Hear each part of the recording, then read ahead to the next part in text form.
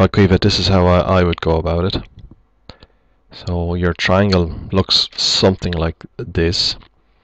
And we know that uh, for this angle, right angle triangle, sorry, this is right angle triangle. So if this is the right angle, then this here must be the hypotenuse.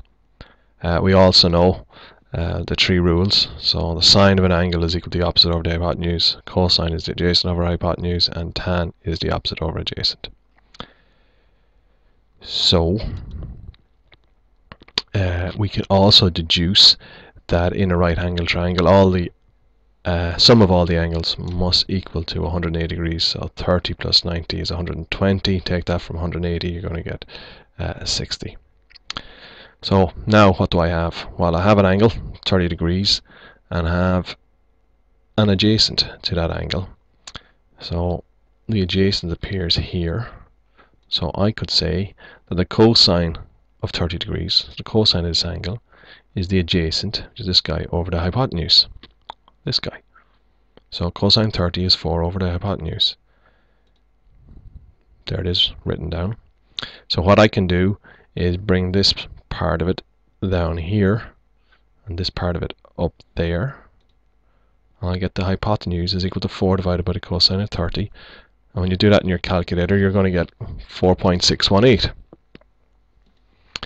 So this length is 4.618. Okay.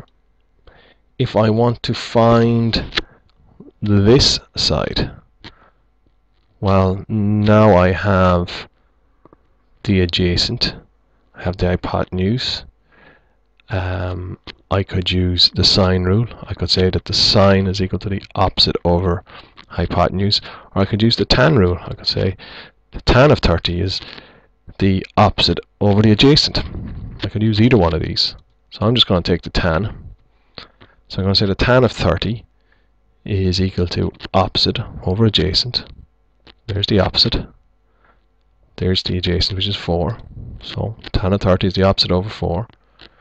So if I just bring this up, multiply both sides by 4, I'll get that the opposite is equal to 4 times tan of 30, which is 2.309.